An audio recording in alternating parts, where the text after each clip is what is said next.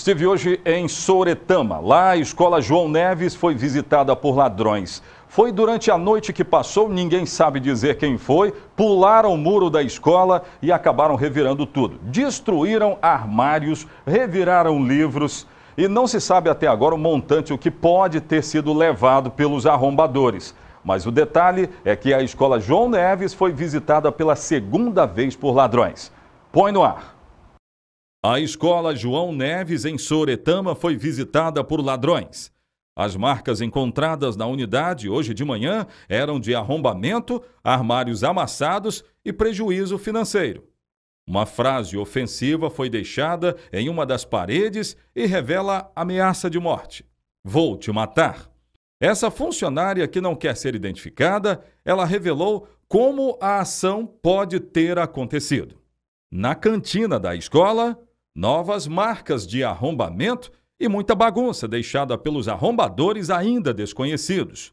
Eles reviraram tudo que viram pela frente. Uma funcionária chegou de manhã na escola, né? Quando abriu a escola, ela constatou que estava a porta arrombada dos professores e da supervisão. E logo ligou né, para a direção da escola para comunicar, que era 5h35 da manhã quando ela chegou, para constatar que estava arrombada a escola. Qual foi o prejuízo de fato que vocês já viram aqui? O prejuízo foi os armários de aço que foram danificados. E às vezes é impossível consertá-los, teria que estar substituindo. A porta da sala dos professores tem que ser trocada. E uma torneira no banheiro dos professores que eles quebraram e ficou vazando água. Foi a primeira vez que aconteceu isso aqui? Não. Em 2015, nas férias, eles arrombaram e deram uns 3 mil reais de prejuízo à escola. Agora, tem uma ameaça de morte na, na parede. Isso deixa vocês com a sensação de medo? O que, que vocês sentem ao ver escrito ali: Vou matar vocês? Nunca aconteceu nada na escola em relação a isso aí, essa, essa ameaça, né? Talvez algum aluno, algum professor falou alguma coisa com um aluno na sala, ele ficou com raiva, quis dar um medo, um susto. Eu creio que seja isso. Como não foi a primeira vez, o caso foi registrado pela Polícia Militar e ainda hoje a delegacia da Polícia Civil começa as investigações para encontrar os envolvidos. Não é a primeira vez, a segunda, como já disse aí essa funcionária que não quis se identificar, claro, numa situação dessa não dá para se identificar. Mas o grande detalhe é que a escola precisa de mais segurança. Eu estive lá e acabei mostrando, eu não sei se tem aí, eu não percebi, é, se tem o muro da escola. O muro da escola fica num lugar onde propicia a ação de quem vai pular o mesmo. Né? Eu não sei se nós temos, eu não sei se foi mostrado, não foi. Mas eu vi o muro da escola e necessário, é necessário ter uma segurança reforçada na região. Os alunos não tiveram aulas, as aulas foram interrompidas hoje deve ainda voltar ao normal hoje, não é? Hoje à tarde, o, o, horário vespertino deve ter aulas normalmente, mas o caso foi parar na Polícia Civil. Gente, daqui a pouco de volta eu vou mostrar apreensões de drogas diversas aqui na cidade. Mais de 600 pedras de crack, 11 quilos de maconha, tudo isso na 16ª Delegacia Regional. Eu volto já com essas informações.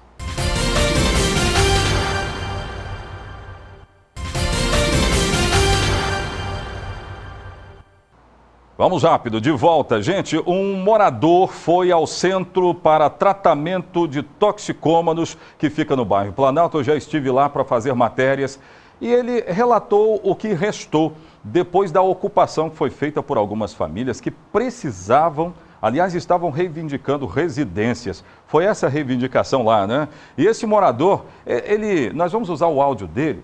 Ele fala um monte de coisa, ele fala o, o que viu, a sensação do que está vendo e também sobre a situação das famílias que estavam ali. Eu tenho esse áudio, é de morador, viu gente? Põe no ar. Estou entrando aqui agora, onde foi invadido há um certo tempo por moradores do bairro Planalto, entendeu? Eles alegavam que não tinha moradia, né? Mas todos eles tem moradia sim, todos eles têm casa, entendeu? E eu conheço muito dessas pessoas que apareceram no Si Notícias que tem casa, né? Você pode ver aí, ó, que eles usavam esses madeiros para fazer as paredes, né? Para dividir os cômodos, né? Que eles tinham invadido. Você pode ver, né? E aí a justiça pediu que eles liberassem a área, né? Ou iriam pagar a multa, mas enfim, essas pessoas todas que invadiram aqui, elas têm casa. E eu conheço muito delas que tem casa sim, e casa boa. Tem gente que tem ter casa alugada, tem carro na garagem e invadiram. Vou mostrar mais aqui, ó. Pra você ver aqui, ó. Entendeu? Aí, ó. Eu acho que aqui era uma sala, ó, porque tem até um, acho que um, não sei se é um estante, um guarda-roupa. Pode estar tá vendo aí um sofá aqui, ó. Parecia que morava criança, porque tem até, ó, peça de Playstation aqui, ó. Colchão, cobertor. Aí, ó. Ter foto de pessoas tem aqui, ó pessoas antigas, né? Enfim, pessoal, é isso aí. Todo mundo que morava aqui tinha residência. Não tinha necessidade. É com você aí, Oséias Faria. Olha aí, o cara até repórter foi. Obrigado. É, cadê o número do WhatsApp? Chegou no WhatsApp, 99850 6060. Olha lá, 99850 6060. Você também pode ser um repórter aqui do nosso programa. Muito obrigado ao cidadão que mandou para nós. Agora, a informação dada aí é grave, né? porque foi uma reivindicação analisada pela justiça local. Então, há de se tomar uma providência. Seguramente no Ministério Público, eles estão me assistindo lá, já estão tomando conhecimento disso aí. Gente, lembra da operação da semana passada, onde quatro pessoas foram presas em Bebedouro e uma é, no bairro Aviso? Foi no bairro Aviso. Uh, agora, apenas nesta segunda-feira, a Delegacia de Crimes contra a Vida falou do caso. E todos os presos têm envolvimento com casos de homicídios registrados na cidade de Linhares. Eu conversei com o delegado André Jareta, que deu essas informações. Veja aí, põe no ar. Por causa do feriado da semana passada e ponto facultativo decretado pelo governo do estado, a polícia se manifestou nesta segunda-feira sobre uma operação feita na semana passada, onde cinco pessoas foram presas. Quatro em Bebedouro, acusados de diversos crimes, e um no bairro Aviso, que residia na Serra, mas estava escondido em Linhares. O delegado André Jareta falou sobre os inquéritos, onde alguns deles serão finalizados somente nesta semana. Todos os cinco indivíduos têm relação com crime de homicídio. Né? Um indivíduo respondia pelo crime de homicídio em Vitória, então só cumprimos o mandado de prisão, o processo dele corre lá naquela vara. É, dois indivíduos do Bebedouro é, respondem por uma, uma tentativa de homicídio, né? foram ouvidos e acredito que ainda hoje eu posso encaminhar o um inquérito para a justiça para que eles também sejam processados. E mais dois do Bebedouro estavam ouvidos num homicídio que ocorreu o ano passado é que só agora nós conseguimos elucidar, efetuamos a prisão e o inquérito já está na justiça. Como todos têm acusação de homicídio, a delegacia afirma que a investigação que ainda passa por aqui teve muito trabalho para enquadrar os acusados que vinham cometendo crimes em Linhares. Inicialmente são só esses crimes que eles tinham, tinham relação, né? Então eles serão responsabilizados inicialmente por eles, né? E vamos dar seguimento nas demais investigações. A polícia acredita que foi esse um grande golpe contra criminosos que montaram suas bases de ação em Linhares. Por outro lado, é o resultado que a população espera dos policiais. Com certeza. Na quarta-feira foi mais uma operação conjunta entre a Polícia Civil, Militar e Rodoviária Federal. E, felizmente, mais uma vez o resultado foi muito satisfatório, né? com vários indivíduos presos, retirados de circulação, várias armas de fogo apreendidas, né? e isso nos dá uma sensação muito boa de conforto e segurança afirmando que outras operações vão continuar acontecendo em conjunto entre as polícias militar, civil e rodoviária federal, Jareta mostrava otimismo quando disse que há investigações em curso para prender quem vive no mundo do crime. O trabalho continua. Com certeza, a gente nunca para. Pois é, então esses é, envolvidos já foram levados para Aracruz, um trabalho de investigação importante da Polícia Civil aqui da cidade. Agora teve droga apreendida, hein, gente? Mais de 600 pedras de crack, tem 11 quilos aproximadamente de maconha sendo contabilizado, tudo direitinho, para serem incinerados. Muito dinheiro apreendido também. Eu tenho essas informações, põe no ar. É resultado que não se pode abandonar. No bairro Nova Esperança, viaturas policiais se deslocaram para atender a uma ocorrência de furto de um notebook. Ele foi cometido por menores de idade em uma residência do bairro. Não demorou muito para descobrir os autores. Dois menores. Aliás, os mesmos que atearam fogo na escola Caboclo Bernardo, no bairro Planalto, em janeiro deste ano. A polícia descobriu que os menores foram levar o notebook para um traficante que agia na região. Na casa para onde o produto foi levado, a polícia descobriu o que não esperava: muita droga e outros menores envolvidos, além de dinheiro. Pesada, o total da maconha apreendida chegava a 11 quilos e 300 gramas. No comércio, esta maconha renderia cerca de 50 mil reais. Um homem conseguiu fugir e esta jovem, Lorena Ferreira foi presa acusada de ser dona do entorpecente. Além de dinheiro, a polícia apreendeu muitas munições de diversos calibres. Pois é, o delegado de chefe da 16ª Delegacia Regional falou comigo hoje de manhã. E ele disse que essa droga, só para você entender bem esse trabalho, vai ser incinerada, o dinheiro que aparece nas imagens vai ser depositado numa conta judicial e essas armas agora vão seguir para é, exames, enfim, e também terão a sua de destinação. Tem muita gente que acha que tudo isso fica na mão da polícia. Lê do engano, viu gente? Agora, você percebeu que dois menores que eu mostrei nas imagens, claro que não mostrei os menores, né? restou um bracinho, uma barriguinha. Esses dois menores citados na nossa matéria estavam envolvidos no caso da escola Caboclo Bernardo no mês de janeiro. São os mesmos. E aí, o que, que, pode acontecer com eles, já que existe uma reincidência de crimes, muito embora sejam menores, hein? Doutor Oswaldo Ambrosio Júnior vai participar do nosso programa no próximo bloco e vai dizer: será que é possível ou será que não? Daqui a pouco no Ronda.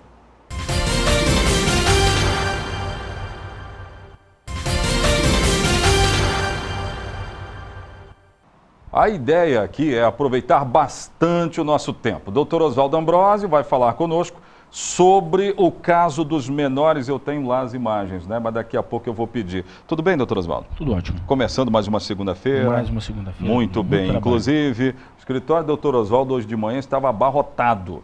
É, é uma segunda-feira, né? Isso é normal de segunda-feira. Gente, 11 quilos e 300 gramas de maconha apreendidos no Nova Esperança. É, antes disso, a polícia chegou a essa droga através de menores que estavam cometendo alguns furtos pelo Nova Esperança. Furtaram o notebook e também um cordão, que eu não vou falar de quem é. Mas através disso aí, a polícia montou uma operação, o setor de investigação agiu bem e conseguiu apreendê-los. A partir daí, a polícia chegou até a droga e um dos donos supostos da droga. Imagem, por favor, que nós já inclusive rodamos. É uma operação que aconteceu no bairro Nova Esperança. Mas o, o, o que eu quero abordar com o doutor Oswaldo é que os autores dos furtos, furto de notebook, de cordão, segundo informações da investigação, são os mesmos que participaram, olha aí, ó, os mesmos que participaram do caso da escola Caboclo Bernardo. Você lembra desse caso? Bairro Planalto? É, atearam fogo na escola porque não queriam estudar. E aí ficaram aí onde não deveriam, doutor Oswaldo Ambrósio. Deveria estar na escola, né? Com certeza, né, José? Inclusive, como nós estávamos comentando, se não for Olha feito o tanto algo... de droga, doutor é, Oswaldo. Se não for feito algo para essas crianças, com certeza eles não vão sair do mundo do crime, né? E, de repente, não saiam de uma forma que a gente nem gosta de falar. Mas alguma coisa precisa ser feita. Então... Neste caso, doutor Oswaldo, para resguardar, para resguardar o, o, menor num caso desse, onde é que a justiça entra tomando boas e importantes decisões? Zé, entenda bem, o Estatuto da Criança e Adolescente prevê a que o menor ele seja apreendido em casos de grave ameaça e violência à pessoa. Pode ser que o juiz não mantenham eles é, é, apreendidos Essa porque... aí foi colocada como dona, Como doutora. dona. Ela tem 27 anos, é maior de Ah, idade. ela vai com certeza ficar um bom tempo encarcerada. Vai, né? né? É, Porque geralmente os juízes aqui não estão concedendo liberdade provisória no caso de droga. Uhum. Leva-se em torno de seis a oito meses para fazer a instrução. Então é provavelmente é o tempo mínimo que ela vai ficar lá, é o tempo da, da, da audiência, né? Agora, com relação aos menores, eles também têm implicação com a droga ou só com os, com os furtos que você estava dizendo? Neste caso, a associação né, com essas pessoas. Através disso, pelo menos é o que diz a investigação, né, doutor Oswaldo? É, é, eles estavam ali, cometeram os furtos e aí foram entregar na casa onde, segundo a polícia, onde estava a droga. Onde estava a droga. Então, a princípio, eles não teriam envolvimento com, com a droga. a droga em si. Em não se tendo envolvimento com a droga, Zé, eu acredito que o juiz vá reintegrá-los à família. De novo, né? De novo, né? Porque não tem aí furto e roubo. A diferença é que o furto você não tem violência, no roubo você tem. Então, quer dizer, por não ter Se não empregaram violência, violência ou grave situação, ameaça, o juiz vai reintegrar os seis da família. Pois é. E isso é claro que a opinião pública cai matando. Eu quero saber da sua opinião. Vá lá, 99850 6060. É, mas é, é muito triste ver um negócio desse, porque eles atearam fogo de uma escola, né? E o prejuízo foi grande, foi grande para o município. Né? E depois disso, todo mundo acreditou, doutor Oswaldo, que eles seriam reintegrados e a partir daí voltariam para a escola, aquela coisa bonita, né? Aquela coisa bonita, mas isso não É aconteceu. o que todos nós esperamos, né, Osés? Mas infelizmente, às vezes, não sai como a gente imagina. O que, que vai acontecer se eles não forem parados, se eles não forem cuidados devidamente pela família, até mesmo pela sociedade, provavelmente vão completar 18 anos e vão acabar ficando presos por um bom tempo. Pois é, isso seria danoso, terrível, extremamente ruim. São, são menores que podem amanhã fazer a diferença na sociedade, não associando-se a crime algum. A gente não torce por isso aí, né? muito pelo contrário.